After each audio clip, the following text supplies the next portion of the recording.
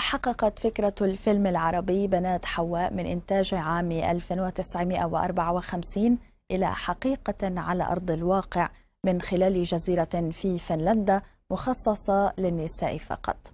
ومثلما تدور أحداث الفيلم حول تأسيس جمعية لمناهضة الرجل فإن الجزيرة المتواجدة قبالة ساحل بحر البلطيق تسخر بالأنشطة الترفيهية المقوية للجسم والعقل والروح مثل التجديف وتمارين التنفس والأطعمة الغذائية والتدليك وفقا لصحيفة اندبندنت البريطانية.